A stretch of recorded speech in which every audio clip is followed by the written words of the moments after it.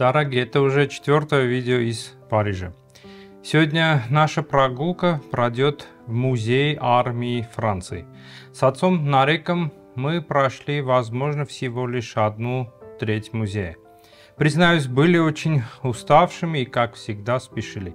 И поэтому пропустили залы военных событий 20 века. При входе в музей, точнее в первый зал, на мое удивление, нас встретил пышный женский наряд французской принцессы Маргариты де Валуа. Но оказалось, что это не старинный экспонат, а всего лишь платье, шитое театральным художником по костюмам Муйдел Бикелем для фильма 1994 года «Королева Марго», где ее сыграла актриса Изабель Аджани. Там было еще одно платье 16 века, но оказалось, что это было пальто великого магистра ордена Святого Духа, сделанное для Людовика XVIII, э, используемое Карлом X. В музее было много чего интересного, начиная от оружия каменного века и до рыцарских доспех и стрелкового оружия средневековья. Даже были мини-катюши, потом сами видите о чем речь. Там даже было чучело одной из 130 лошадей Наполеона. Но самым интересным для меня была картина-портрет личного телохранителя Наполеона, известного как Рустам Амелюк. Наверное, многие из вас слышали об его арцахских корнях, но многие не знают его историю. Так что наберитесь терпения и после истории о музее армии поговорю и о Рустаме Арцахском. Возможно, поэтому не случайно интерес Франции в вопросе Арцаха. А в конце, как всегда, выложу мое видео из музея.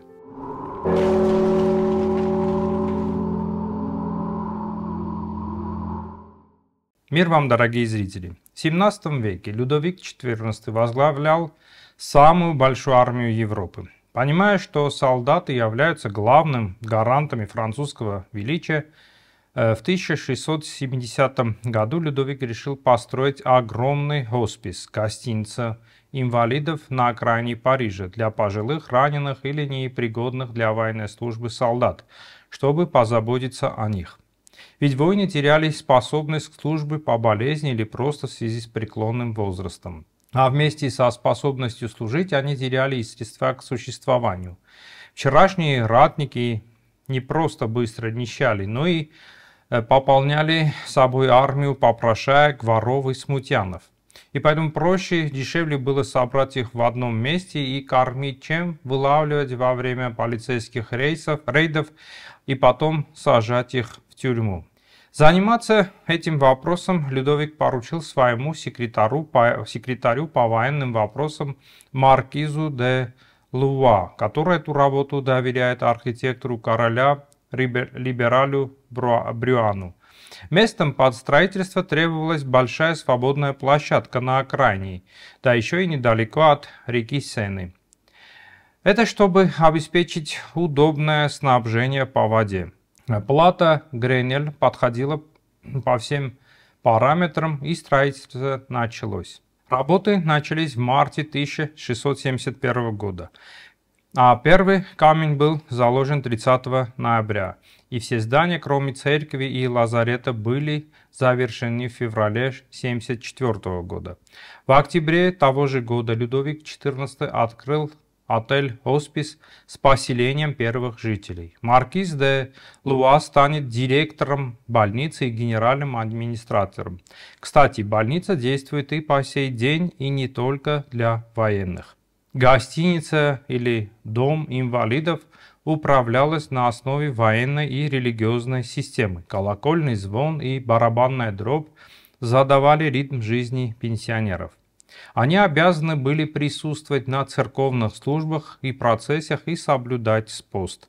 Строгой была воинская дисциплина. Все, способные держать оружие, участвовали в учениях, стали на часах или в почетном карауле. Ветераны, объединенные в роты под командованием офицеров, обязаны были в меру сил работать в сапожных мастерских, цехах по производству гобеленов или в ателье, где раскрашивали гравюры. Вырученные от продажи товаров деньги частично компенсировали государству расходы на содержание верных бойцов. Поэтому гостиница была э, освобождена от налогов. Уход за жителями был основан также на сборах из аббатств. Питались пенсионеры по расписанию за, огромным, за огромными столами на 50 человек. Завтраки, обеды, ужин начинались точно в назначенное время. В еде недостатка не было, но вина полагалось лишь по четвертушке на брата. В центре обеденного зала стоял стол водохлебов, лишенных права пить вино. Пенсионерам запрещалось в спальнях курить и принимать пищу, а также пить вино. Женщины в помещениях не допускались, но женатые постояльцы могли навещать семью два раза в неделю. Нарушители дисциплины подвергались штрафам и разнообразным наказаниям, от перевода на хлеб и воду до изгнания из учреждения, например, за богохульство. Такое учреждение, как Дом инвалидов или Отель инвалидов, было очень успешным. Оно стало общеевропейским образцом заботы о бывших войнах. Двоюродный брат Людовика XIV, английский король Карл II, к примеру, основал для военных ветеранов Королевский госпиталь Челси, а Петр I, посетив Дом инвалидов, вскоре ввел в российской армии пенсионную систему. Концу правления Людовика XIV в 1715 году здесь проживало более 4000 жителей. Фасад дома инвалидов имеет размеры в длину 195 метров, а в высоту 22 метра. Его убранство напоминает о военном назначении этого места и королевской власти. Королевский вход, центральный павильон, вдохновленный древним триумфальным арком, изображает Людовика XIV как победоносного римского императора. Король окружен аллегориями благоразумия слева и справедливости справа, обе из которых считаются королевскими добродетелями. Пройдя через королевский вход, посетители попадают во двор суд чести. Этот двор, окруженный двумя аркадными галереями, является самым большим двором этой гостиницы и его длина составляет 102 метра, а ширина 64 метра. В этом дворе проводят государственные, национальные военные мероприятия, как и похоронные церемонии. Шар Разнавура проводили в последний путь именно из этого двора, как и многих политических, церковных, культурных деятелей, например, э, Жак Ширак, Бельмондо, Жак Густо и другие. В самом сердце отеля расположен собор Сен-Луи, спроектированный архитектором Жюль Ардуэн Мансаром. Как понял, собор состоит из двух частей. Основная часть собора – это церковь, которую называют солдатской. В этой части молились солдаты и инвалиды. Северный фасад собора выходит во двор суд чести. Над входом находится статуя Наполеона I. Сперва она была установлена на вершине Вандомской колонны между 1833-63 годами, а затем перенесенная в Дом инвалидов в 1911 году. Была создана Шарлем Эмилем Сёром – Бронза была получена из пушек, захваченных у врага во, времена кампании, во время кампании 1805 года, особенно в битве при Аустерлице. Вокруг алтаря солдатской церкви можно увидеть французские флаги и военные трофеи, принадлежавшие врагам Франции на протяжении всей истории. А от южной части находится величественная Домская церковь с куполом в высоту в 107 метров и является самым высоким зданием в Париже до постройки базилики Сакракер и Эфелевой башни. Купол покрыт из 5 550 тысяч золотых листьев, которые в совокупности весят 13 килограмм. Последний раз его реставрировали, реставрировали в 1989 году. В этой части собора молился только Людовик XIV, поэтому входы в храмы разные, но архитектурные постройки объединены алтарными частями. Сегодня мессы продолжают отмечаться в соборе Сен-Луи в Солдатской церкви, где также проходят концерты музыкального сезона инвалидов каждый год. С 1986 года, когда армейская епархия Франции переехала в Дом инвалидов, Сен-Луи стал вторым собором Парижа после Нотр-Дама. Во время революции купол, собор, купол собора стал храмом бога Марса. В 1800 году Наполеон I решил туда перенести гробницу маршала Тюрена и назначить зданию функцию пантеона военной славы. До этого Торрен был захоронен в базилике Сен-Дени по приказу Людовика XIV. Там же находится сегодня прах Наполеона I, который умер в изгнании 5 мая 1821 года на острове Святой Елены.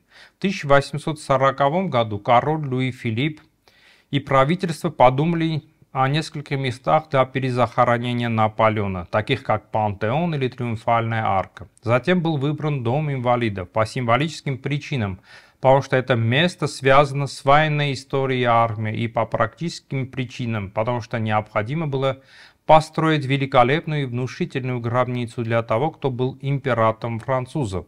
За работу над гробницей Наполеона отвечал архитектор Луис Висконти.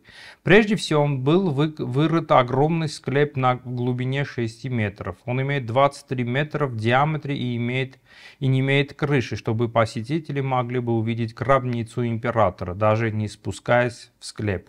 Гробница почти 4 метра в длину и более 2 метров в ширину.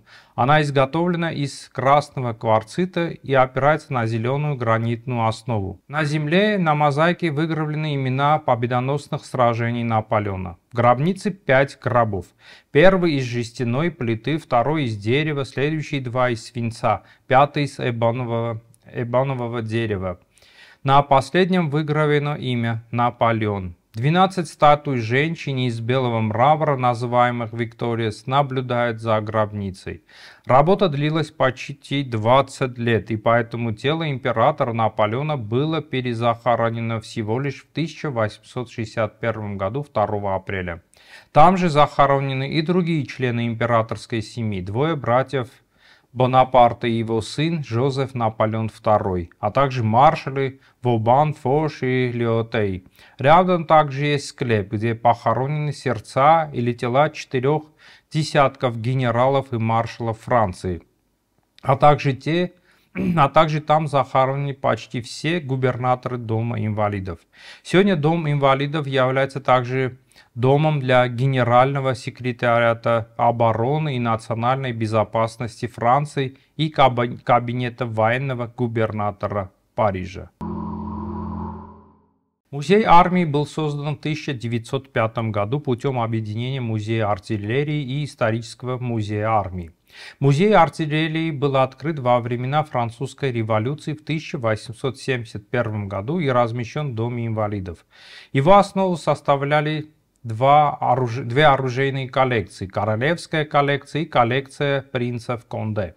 В дальнейшем да, добавились экспонаты из фондов Лувра, артиллерия из замков Винсен, Перфон, а также другие приобретения музея и дары ему. Исторический музей армии был создан в 1896 году частной компанией, глава которой ЭдуардДатай обладает личным собранием и захотел на их основе открыть экспозицию. Музей располагается в восточном и западном крыле дома инвалидов вокруг парадного двора, а также в крыле к западу от церкви Сен-Луи.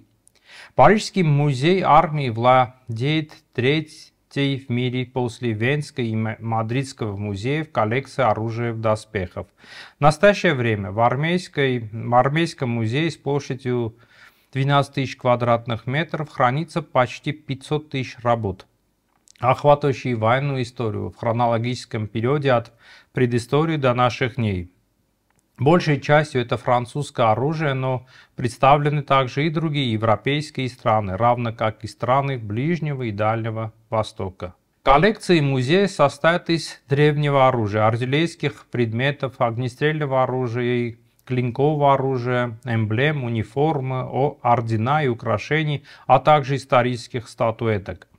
Музей армии также хранит богатые иконографические коллекции, состоящие из картин, скульптур, гравюр, рисунков, фотографий, а также набора печатных работ, рукописей, периодических изданий и частных архивов. Здесь также хранится коллекция археологических памятников, а также коллекции неевропейских этнографических объектов, происхождение которых выходит за рамки французской колониальной империи и колонизации. С тех пор музей армии продолжает обогащать свои коллекции, в частности, за счет пожертвований или покупок. Государство также внесло свой вклад в обогащение коллекции музеев посредством передачи от военных организаций или учреждений, начиная от униформы, оборудования, нормативных эмблем и заканчивая вооружением, в частности, во время закрытия оружейных заводов в Сен-Этьене и Тюле в периоде с 1998 по 2001 год. Государство также выделили большие коллекции армейскому музею, такие как коллекция оружия и доспехов, собранных Наполеоном III в Шато де Перфос в 1880 или коллекции музея Франша де Экспери после обретения Алжира независимости в 1962 году. Коллекция армейского музея в настоящее время распределена в шести больших хронотематических пространств. Отдел древностей, оружия и амбунирования 13-17 веков, отдел новой истории от Людовика XIV до Наполеона 3, 17 по 19 века, современный отдел, две мировые войны, отдел Шарля де Голля, это мультимедийный зал, в котором показывается 20 минут, 25-минутный биографический фильм на разных языках и представлена интерактивная выставка, посвященная жизни генерала. Забавный кабинет, коллекции старинных игрушечных солдатиков, уменьшенные модели артиллерийского орудия, военные и музыкальные инструменты. Там около 150 тысяч картонных, свинцовых и оловянных солдатиков, созданных в период от 18 до середины 20 веков. Отдел живописи и скульптуры, кабинет рисунков и фотографий. Там можно найти около 200 тысяч экспонатов. Музей армии оставался открытым во времена Первой мировой войны и продолжал обогащать свои коллекции многими предметами с работами, связанными с конфликтом то время как трофеи, взятые у врага, регулярно выставлялись вперед с 15 по 18 года 20 века во дворе суда чести от отеля инвалидов. Во время Второй мировой войны коллекции армейского музея были частично разграблены немецкими оккупантами. После войны директор музея генерал Анри Блан провел в Германии несколько миссий по восстановлению утраченного. 18 июня 2000 года, в день 60-летия призыва Шарля де Голля к французскому народу, открылись новые залы, посвященные Второй мировой войне. Стоимость билета 15 евро. Билет комплекс включает посещение музея армии, планов и рельефов, ордена освобождения, церкви и собора. Бесплатно детям до 18 лет и всем военным в форме. Личный телохранитель Наполеона Рустам был младшим ребенком арцахского, карабахского купца-армянина Хунана и тифлисской армянки Будживари. У него были сестры Мариам и Бекзада и братья Авак и Сейрян. Когда ему было два года, семья вернулась в родной город отца Аперкан недалеко от города Шуши, как и пишет он в своих воспоминаниях. Перенес свой торговый дом в родной Аперкан, один из наиболее укрепленных городов Армении. То есть Арцах был частью Армении в то время. Аперкан, возможно, означает Аперкан, то есть есть берега. Между нашим Аперканом и Шушой была река. В сухое время года я не раз переходил ее брод, но теперь река вздулась и вода поднялась очень высоко. Отец по торговым делам с двумя братьями уходит из армянского города Ганзака, сегодняшняя Ганджа в Азербайджане, а Рустам сам добирается к матери и сестрам в крепости города Шуши, где те прятались, поскольку их родной город Абхеркан был разграблен татарами. Поисках отца и братьев вскоре он с матерью и сестрой Мариам направляются в Ганзак, где он теряет их. Беказада, как он и пишет, о ней умерла в Аперкане. Прошло некоторое время, и неожиданно моя молодая сестра Бекзада тяжело заболела. Мы потеряли ее всего за 8 дней. Мы очень тяжело переживали эту утрату. Беказада была первой красавицей тех мест. После их потери Рустама, как он и сам писал, продавали в рабство семь раз. В рабство попадает, попадают мать и сестра. Мать выкупил богатый армянин и отпустил ее. А сестра служила у кого-то, где и встречает Рустам ее. Я страдал, что не могу попасть в Козляр и в последний раз поцеловать матушку, потому что меня вскоре продали в шестой раз, на этот раз прибывшему из Константинополя торговцу детьми, и он должен был увести меня с собой. Я предложил этому торговцу, торговцу купить и мою сестру, чтобы мы могли утешать друг друга на чужбине, но он отказал. Короче говоря, я был безутешен. Все дни плакал, а моя добрая сестрица осушала мои слезы, говоря, «Я отрежу прядь твоих волос и отдам маме, пусть она убедится, что ты жив». Так утешала меня Мариам дней пятнадцать, а она, а на прощание взяла ножницы и отрезала большую прядь моих волос. Она заливалась слезами, говоря, «Рустамджан, где бы ты ни был, обязательно напиши нам. Ты же знаешь, как мы тебя любим, и нет у нас другой радости, кроме как день и ночь думать о тебе. Если отец при... приедет за нами, обязательно пошлем его в Константинополь выкупить тебя. Она взяла константинопольский адрес купившего меня торговца, обещала писать мне, но с того времени я больше не имел вестей от своих родных. Так он попадает в Константинополь. Мы жили недалеко от Святой Софии, самого большого и богатого храма в мире. Его построили армяне, но турки захватили и присвоили его. В Константинополе мы прожили шесть месяцев. Однажды из Египта прибыл в город один из торговцев, Салабея, и купил меня. В моей бродятой жизни меня продали в седьмой и последний раз. Прошло несколько дней, мы вновь сели на торговое судо, прошли Дарданелли и поплыли к Александрии, первому порту Египта. Так 15-летний Рустам попадает в Египет, где его, через, где его и обрезывают. Через неделю после прибытия в Каир в комнату ко мне вошел Кашев, военачальник Салабея, в сопровождении Брадабрея, чтобы произвести крещение согласно местному обычаю, то есть совершить обрезание. Кашев объяснил, что это приказ Б, и что для этого, чтобы стать хорошим мамлюком, надо обязательно быть обрезанным. Вопреки моей воле, лекарь приступил к своему делу. Дней через десять рана уже зажила, а еще через пару дней мне дали коня, которого обещали еще при вступлении в Большой Каир. Его купил Салабей, грузин-мусульманин, один из 24 наместников Египта, давший ему свободу и зачисливший корпус кавалерии мамилюков.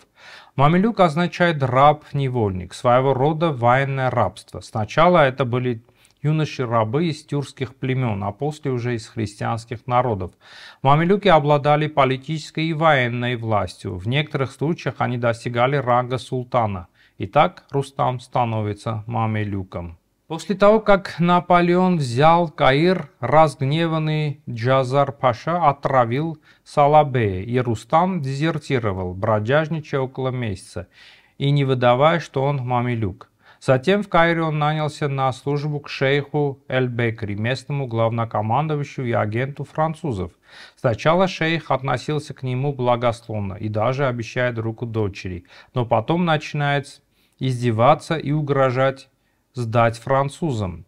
Я поначалу испугался, что шейх выдаст меня французам, с нравами и привычками которых я не был знаком, хотя слуга мой со многими людьми общался и не раз рассказывал, что французы добрые люди и такие же, как и мы, христиане. Я успокоился.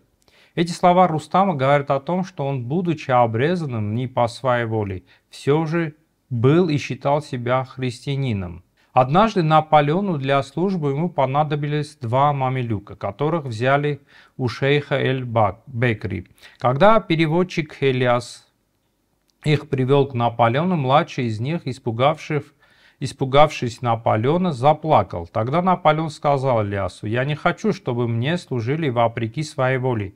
Зачем вы привели этого плаксивого ребенка? Верните его к шейху и подберите такого, который сам бы захотел стать моим мамлюком». На что Ильяс отвечает, «Если вы соблаговодитесь написать Эль-Бекри, то может статься и смогу, я смогу привести того толстенького мамелюка, который лично сопровождает его. Я знаю парня, родом он из Грузии и прекрасный воин. Вот как описывает свою встречу с Наполеоном Рустам. Увидев меня, Наполеон подошел, потянул меня за ухо, потом спросил, хорошо ли я езжу на коне. Я ответил утвердительно. Потом он захотел узнать, Владею ли я шпагой? Я сказал, что много раз сражался на шпагах с арабами. Показал шрамы на руках. Он обрадовался и спросил, как тебя зовут? Я ответил, Иджахия. Он удивился. Это не турецкое имя. Тебя как звали дома? Я признался, Рустам. Я не хочу, чтобы ты носил турецкое имя. С этого дня ты по-прежнему будешь Рустамом. Он прошел к себе в кабинет, принес оттуда дамасскую саблю, рукоятка которой была в шести крупных бриллиантах, пару пистолетов в золоченных футлярах.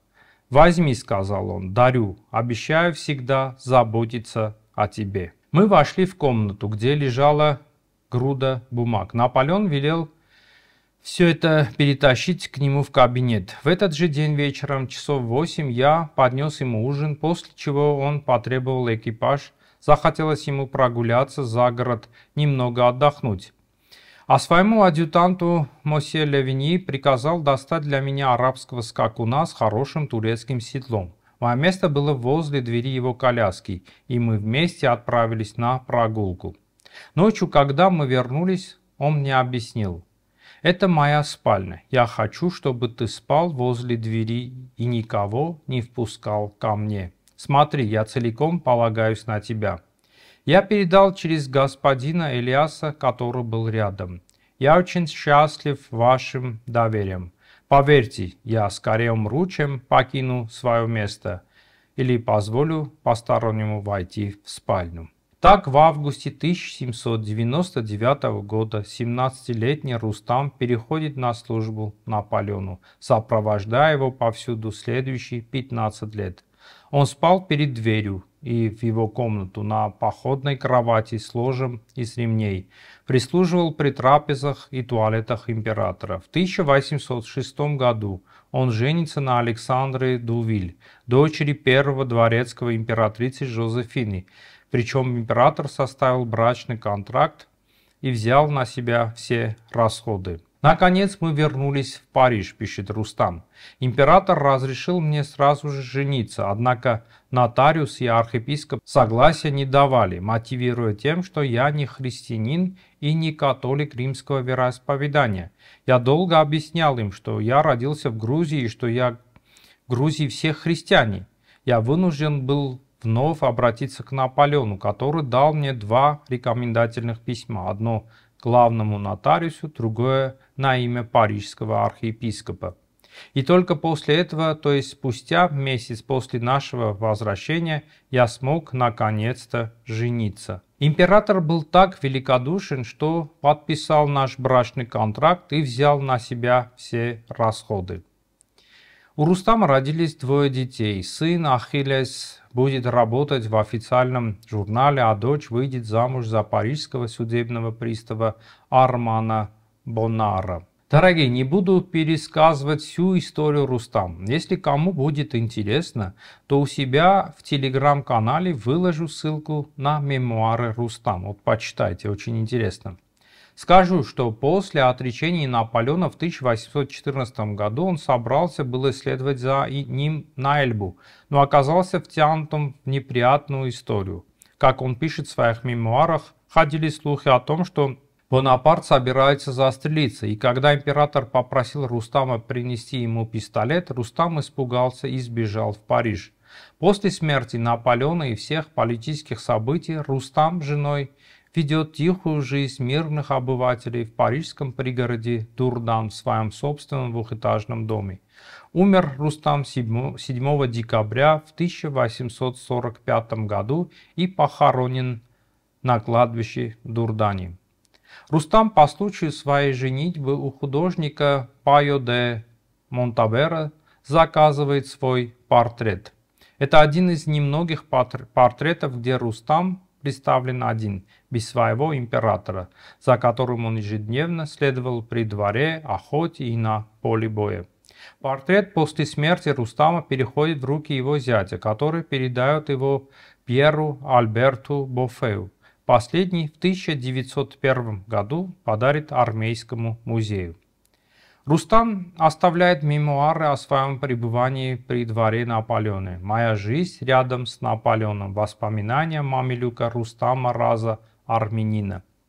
Книга появилась в печати в 1888 году и переиздана в 1911 году. Сохранилась Предание, будто Рустам упросил Наполеона оградить от бушевавшего в городе Москве огня армянскую церковь Сурбхач и ближайшие кварталы.